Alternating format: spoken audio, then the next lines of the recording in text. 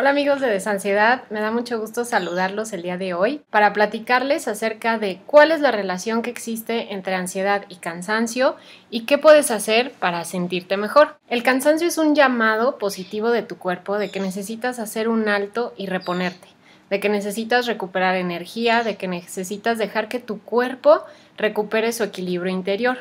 Y esto es porque cuando estamos estresados, cuando estamos en alerta, cuando estamos preocupados o tensos o que tenemos una entrega o cualquier cosa que te haga activarte de más, en ese momento tu cuerpo en general se activa y aumenta sus niveles de adrenalina, aumenta los niveles de cortisol y de tensión muscular. Obviamente que no podríamos sostener este estado por mucho tiempo. No podemos, simplemente es imposible. Entonces el cuerpo empieza a mandar llamados, a mandar mensajes de que necesitas hacer un alto y descansar para recuperar esos niveles. Pero muchas veces no le hacemos caso a esos llamados y seguimos haciendo mil cosas en el día y seguimos preocupándonos y seguimos adelantándonos al futuro y entonces no permitimos que el cuerpo descanse. Y ahí es cuando de repente te puede invadir un cansancio tremendo. Esa es una de las opciones por las que llega el cansancio. Y la otra es que después de una crisis de ansiedad, después de que este mismo pico de estrés y alerta lo sigues y lo sigues y de repente explota y tienes un ataque de pánico o una crisis de ansiedad fuerte, entonces el cuerpo al desbordar toda esa tensión, que también puede ser a través de episodios con mucho llanto, pues lógicamente que después va a querer que te eches a dormir a la cama, que descanses, para que recuperes toda esa tensión descargada y toda esa crisis que tuviste. Es muy lógico que después de una crisis de ansiedad o un ataque de pánico te sientas muy cansado. Y la otra opción por la que quizás te sientas muy cansado o cansada es que quizás ya llevas mucho tiempo bajando tu ansiedad, o sea que ya llevas un avance bajando tus niveles de ansiedad. Y entonces cuando dejamos de estar alerta y cuando ya no estás preocupado y cuando ya tus miedos no tienen tanto poder sobre ti, entonces ahora sí el cuerpo dice, por fin puedo descansar. Y entonces empiezas a sentir un cansancio extremo. Cualquiera que sea la opción por la que tienes ansiedad y por la que tienes cansancio, lo que te necesito decir es que tu cuerpo siente cansancio porque necesita descansar. No es casualidad, no es que tu cuerpo esté jugándote una mala pasada, no es mala onda, simplemente necesitas frenar un poco la actividad, tanto mental como física, y darte unos días de descansar. Y con descansar me refiero tanto a dormir, dormir un poco más, como a bajarle al estrés con el que haces las cosas y llevar un ritmo más relajado, respirando a nivel de diafragma, haciendo una cosa a la vez, todo a su tiempo, sin tomarte las cosas tan a prisa, tan urgentes. Y entonces de esta forma le puedes dar a tu cuerpo el descanso que necesita. Hay otras formas después de esta primera etapa que te recomiendo de dejarte estar cansado y descansar.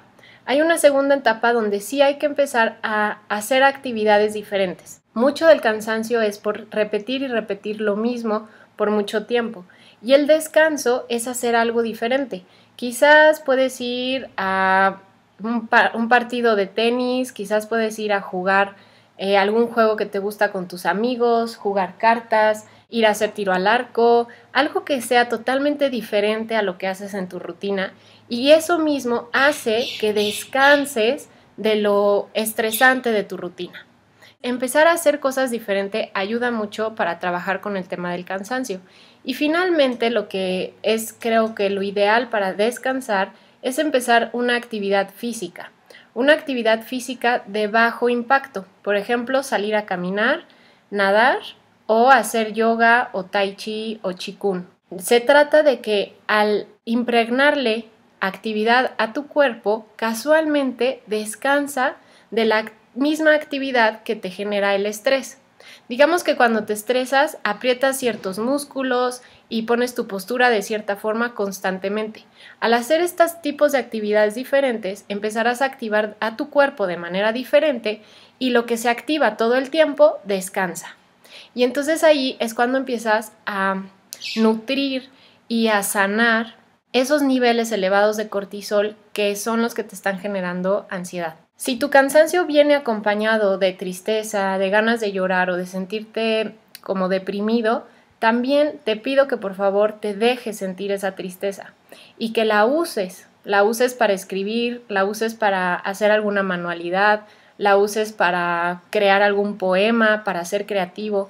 Usa esa tristeza para darle sentido a tu vida y no le tengas miedo de caer en una depresión, porque en el momento que le metes miedo a la tristeza, reconectas con el estrés y la ansiedad, porque la ansiedad tiene al miedo como fundamento y la tristeza tiene o la depresión tiene a la culpa como fundamento. Entonces, si tú te sientes cansado y te sientes triste y empiezas a decir, estoy mal por sentirme así, eh, voy de mal en peor, no, no termino de mejorarme, seguro es porque me desvelé y te empiezas a culpar y culpar y culpar, pues obviamente que caes en un estado depresivo.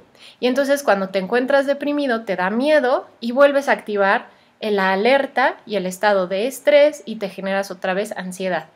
El cansancio es un punto medio entre ansiedad y tristeza, en el que si te dejas sentir ese cansancio, si te dejas vivirlo y si te dejas llorar y te repones a ti mismo con vitaminas, cuidándote, alimentándote bien y haciendo actividades recreativas que te distraigan, que te nutran, y ejercicios físicos que te ayuden a activar otras partes de tu cuerpo y oxigenarte, verás que el cansancio no te dura mucho y más que eso, puedes llegar a un equilibrio. Marzo es el mes de recupera tu equilibrio aquí en Desansiedad, por lo que te invito a tomar el taller de fin de mes y a ver toda la información que estamos compartiendo sobre este tema lo puedes encontrar en www.desansiedad.com. Hay una pestaña que dice los cinco pasos, le das clic al paso 2 y ahí encontrarás información que te puede ayudar. Mientras tanto, te mando un abrazo y nos vemos pronto.